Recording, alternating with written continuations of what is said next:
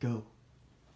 Hi, I'm Abby, and I love baking, and I'm going to teach you how to make zucchini bread. Wait, you forgot. Oh yeah, always put your hair up in a ponytail holder, because hair and food is disgusting. Ready?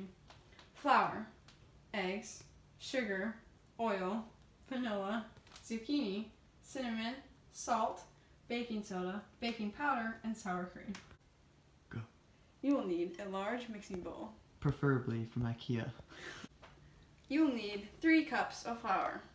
Stop it. Okay. Now you will need three eggs. First, you have to crack your eggs in a small bowl and see if there are any eggshells. Looks like there's none for that one. Oops, looks like I got a shell in there. Make sure not to eat the eggshell and take it out. Next, you will need two cups of sugar. Next, you will need one cup of Crisco pure canola oil.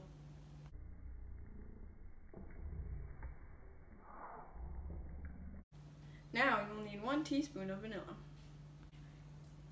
Cups of grated zucchini. Nothing's dropping in the bowl. Nothing's even happening.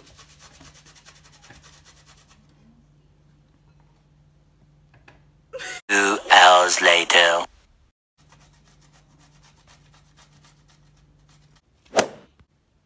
Now put in one teaspoon of cinnamon. Now add one teaspoon of salt.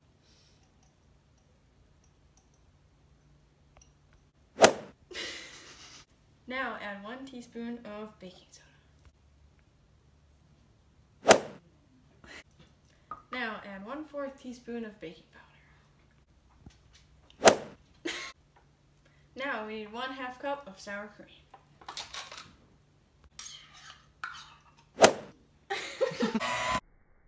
Spray Pam on the pan so it doesn't stick.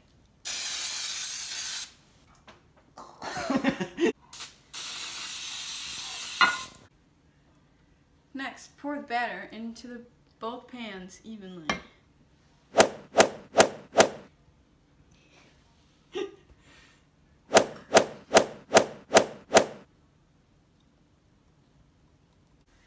Preheat the oven to 325.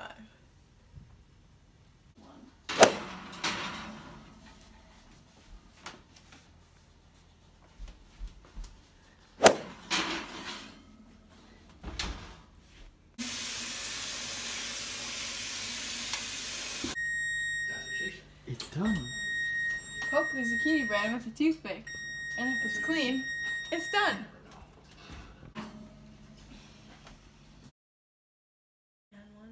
Teaspoon.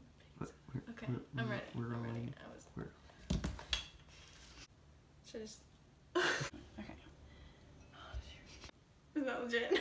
oh.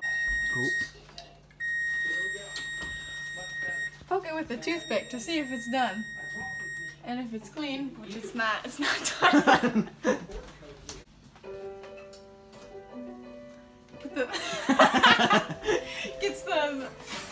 music in the background.